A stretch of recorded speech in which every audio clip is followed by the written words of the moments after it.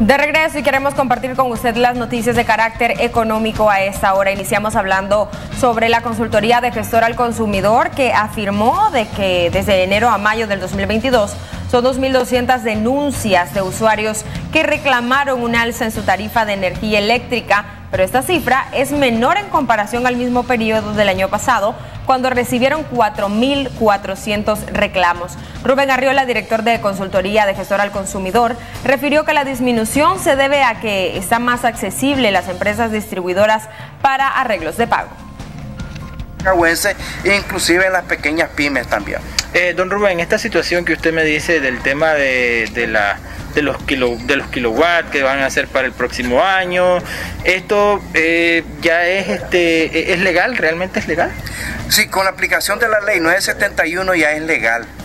Pero la realidad es que la gente, por falta tal vez de, de interés, de conocimiento o por preocuparse de conocer de las leyes, no, no buscaron cómo solucionar esta problemática. Nosotros el año pasado, este, si no más recuerdo, inclusive en comienzos de este año, le enviamos una carta al Ministerio de Minas y Hidrocarburos con copia al INE, donde le solicitábamos que no se aplicara la ley 971. ¿Por qué? Porque las condiciones económicas de los nicaragüenses no son muy buenas actualmente.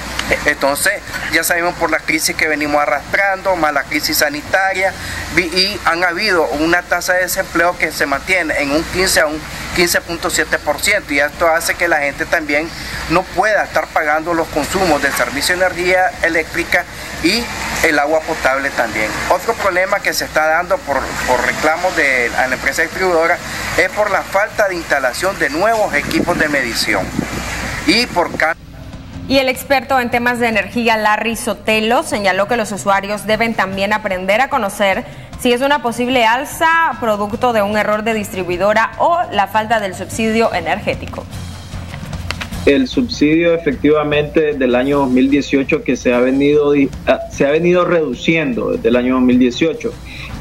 Entonces, en el periodo 2018-2022, o sea, en el año actual, en total la reducción del subsidio fue de eh, un 40%, ¿verdad?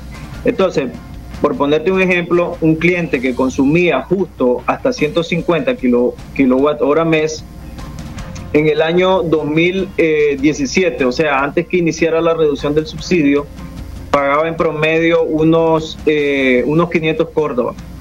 Entonces, el mismo cliente con el mismo comportamiento de consumo, ahorita va a pagar este, unos 700 córdobas. O sea que hay un incremento de 200 córdobas equivalente al 40%. Eh, ya esa reducción del subsidio finalizó este año, o sea que ya el próximo año no va a haber otra reducción.